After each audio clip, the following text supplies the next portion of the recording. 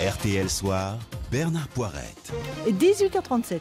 Invité de RTL Soir, la comédienne Marie Gillin. Bonsoir Marie Gillin. Bonsoir. Vous jouez tous les soirs au théâtre Tristan Bernard à Paris et au moins jusqu'au 20 décembre, La Vénus à la fourrure de Sacher Mazoche avec Nicolas Briançon.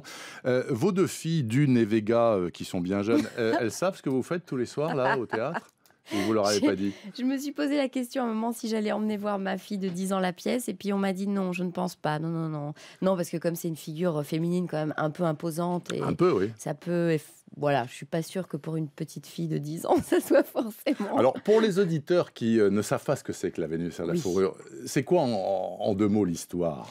Ben, l'histoire, donc, euh, c'est l'histoire d'un metteur en scène qui est joué par Nicolas Briançon, qui euh, euh, clôture un peu une séance d'audition infructueuse où il cherche son personnage Oui. pour incarner Vanda von Dunayev, donc dans cette pièce de Sacher Masoch qui se passe en 1870. Et euh, il est désespéré, il est au bout du rouleau, il trouve pas son actrice. Et débarque une fille complètement improbable. Euh, donc sa pièce, évidemment, euh, la pièce de Sacher Masoch aborde quand même un peu le thème du, Une fille un peu grande gueule, un peu mauvais genre. voilà, c'est ça. Et comme, comme la pièce de 1870, il cherche quand même une femme qui soit élégante, qui soit une comtesse un peu comme ça, royale, voluptueuse. Évidemment, débarque cette fille complètement vulgose, euh, un peu improbable. Et, et- et donc, euh, il se dit, voilà, encore, encore un cas, euh, encore un cas, je vais, la, je vais la renvoyer chez elle. Et pourtant, euh, il y a un truc qui se passe. Et il y a un truc fait- qui accroche. voilà, il y a un truc qui- qui accroche et elle reste et donc elle va passer cette fameuse audition et à partir de là, il va y avoir un jeu de rôle absolument euh, délicieux et diabolique entre ce metteur en scène et cette actrice où finalement ils vont se mettre à jouer les personnages de la pièce tout en aussi restant metteur en scène et actrice et donc c'est vraiment euh, voilà c'est des personnages à tiroir qui qui euh, lui qui a écrit cette pièce euh, d'un homme qui veut se faire dominer par une femme. Et, euh, et cette, cette jeune femme qui débarque qui va un peu le pousser dans, dans, dans, oui qui, qui va l'interroger sur son processus de création et sur qui il est on ne monte pas la Vénus à la fourrure euh, par hasard donc elle est c'est un peu comme une espèce de déshabillage en fait. Alors, on va en parler du déshabillage, bien évidemment, mais quand on vous a proposé ce rôle, euh, bon, il est très intéressant, j'imagine, pour un acteur ou une actrice. Vous avez dit oui tout de suite, malgré le côté un petit peu euh, sulfureux, disons-le, de ce rôle. Alors moi, le côté sulfureux, c'est pas du tout ça qui m'a qui m'a fait peur, euh, parce que euh, j'adore ça, moi, les personnages hauts en couleur, euh, remplis de ruptures comme comme elle. Puis c'est très drôle. Non, c'est juste que la pièce est quand même vertigineuse. Oui. et 86 pages de texte en plus qui, qui sont voilà, c'est brillant, c'est brillamment écrit, ça interroge sur plein de choses dans les rapports hommes-femmes, etc. Euh, bah, c'est tout un processus de travail. Donc évidemment, là, on, maintenant, on commence vraiment à prendre du plaisir. On s'éclate sur scène, mais on a, on a Mais j'imagine qu'il y, y a- qu'il y a des rôles plus ou moins faciles.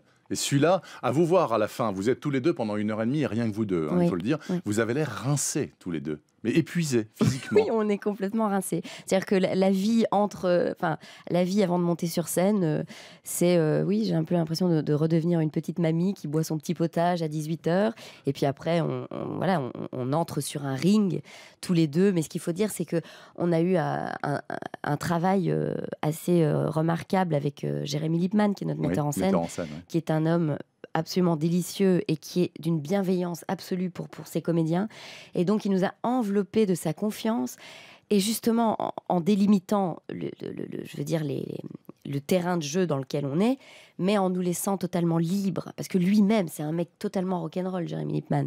Et donc, donc cette pièce, c'est lui aussi. C'est, allez, on, on se lâche, on s'en fout.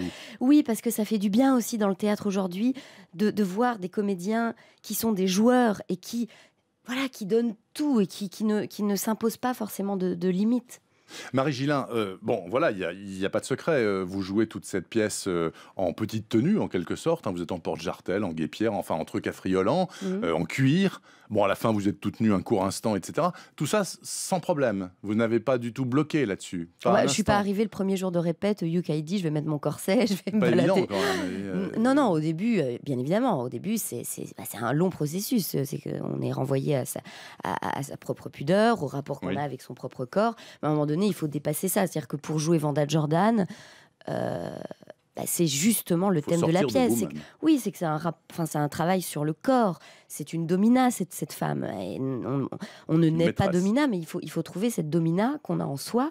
Et pour la trouver, il faut à un moment donné aller chercher cette vraie femme qu'on a au fond de nous et qui n'en a rien à faire du regard des autres et qui est dans son corps qui est centré et, euh, et qui envoie tout balader. Euh. et donc ça, ça, demande du travail. Je sais pas un truc qui est né, je suis pas arrivée super à l'aise. Mais, mais, mais dans la vraie vie, euh, c'est votre truc, le SM vous allez, dans, vous allez dans les clubs cuir je, dirais un peu comme Vanda Jordan, désolé, c'est pas mon rayon. Bah non, à la base, c'est pas du tout mon rayon, mais j'ai trouvé ça très intéressant euh, de lire par exemple le bouquin de Sacher Masoch parce que ça parle de l'origine du masochisme. Et, on perçoit le, jeu avant tout intellectuel du, masochisme de l'époque. Et, on, réalise à quel point le sadomasochisme est vraiment du théâtre. C'est une mise en scène. Ce sont des gens qui euh, sortent de leur vie et qui endossent des personnages, qui endossent des rôles et qui, et ont des, thèmes. Et des, voilà, il y a des règles dans ce jeu. Donc évidemment, euh, les, acteurs de, ce jeu sadomasochiste sont, sont peuvent aller très loin, mais ils y vont en adultes consentants et en, se mettant des règles bien précises. Et, donc, c'est, c'est, je trouve ça super intéressant euh, aussi de voir l'origine du masochisme. Aujourd'hui, c'est vrai qu'on parle SM, on pense tout de suite aux, boutiques de latex, euh, la consommation du sexe, etc. Mais là, on est replongé en 1870 où tout d'un coup, cette femme propose à cet homme un marché qui est tu vas être mon esclave pendant un an. Oui. C'est long, un an. Tu seras ma chose. Voilà, tu seras ma chose pendant un an. Et, donc, ça, ça, replonge aussi dans une époque où le temps n'était pas vécu comme aujourd'hui. Marie Gillin, euh, vous jouez au théâtre, vous jouez au cinéma, vous avez eu des rôles extrêmement marquants au cinéma. Moi, je me souviens de vous dans L'Appât de Tavernier, c'était tout à fait extraordinaire.